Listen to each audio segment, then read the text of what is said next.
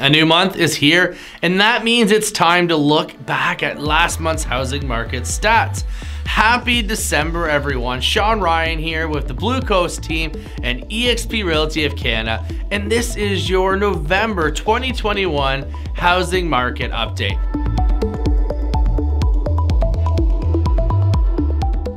Before I jump into the numbers, here's my interpretation of how things went last month and what's going to come in the future.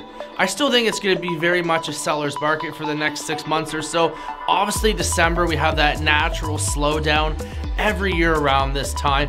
Rates still remains uh, very low, and then we're still seeing that 15 to 20% of the buyers are coming from the GTA, which really I think is driving prices high.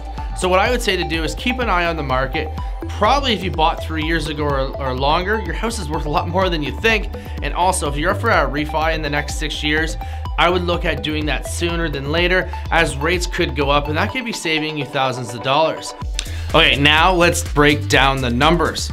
November, we had 374 active listings and we had 145 sold, totaling about 67 million in sales volume. Compared to this to November in 2020, where we had 164 homes sell with a total of $59 million in sales volume. November 2021 had an average of 22 days to sell versus last November where it took an average of 28 days to sell. The average sale price was around $460,000 versus $360,000 in November 2020, which is a 30% increase.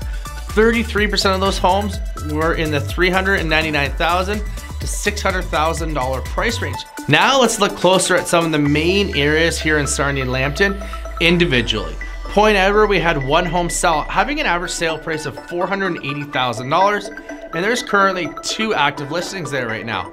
College Park had one home sell for $655,000, and there's no active listings there right now. Sherwood Village saw four home sell having an average sale price of $463,000 and there's one active listing. So great price point for Sherwood now. Heritage Park, we saw two home sell, having an average sale price of $650,000 and there's two active listings there right now. Coronation Park and the Tree Streets, we grouped them together and they saw three homes sell, having an average sale price of $435,000 and there's two active listings there right now. Cardiff Acres, we saw five homes sell, having an average sale price of $470,000 in Cardiff Acres. That's huge. And we got three active listings. Guthrie Park, seven homes sell, having an average sale price of $410,000. And there's three active listings there right now. High Park area, six homes sell, having an average sale price of $435,000. And there is one active listing there right now. Sarnia's Northgate area had six homes sell, having an average sale price of $380,000 and there is four active listings right now. So let's go to downtown Sarnia. Let's look at all the single family and the condos. We saw four properties sell. Average sale price $370,000 and there's two active listings right now. Mitton Village saw seven homes selling, having an average sale price of $330,000 and there is no active listings. So some great gains there for Mitton Village. South End Sarnia had eight homes sell, having an average sale price of 280, so just below that $300, $300,000 price range for November, and there's currently three active listings. Now let's go to Rapids Parkway. We saw only two homes sell in Rapids, average sale price 690,000. There's currently three active listings there right now. And Twin Lakes, some good activity in there. Four listings sold. Average sale price up to $750,000 in that area, and there is four active listings. Now, Wiltshire Park had four homes sell. Average sale price is up to 530 in Wiltshire with two active listings currently as of today. Woodland Park and Oak Acres had nine homes sell, having an average sale price of $440,000, and there is two active listings in there right now. Now, Woodrow Beach, Wees Beach, and the Oak Corners area, we saw four homes sell, Average sale price $580,000 and there's currently one active listing there right now.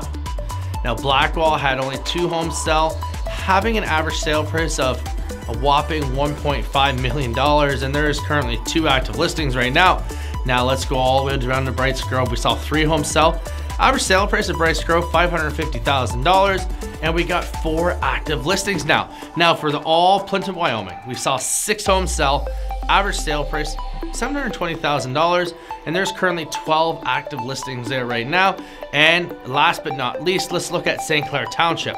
We saw nine homes sell, average sale price $780,000 and there's currently 15 active listings there.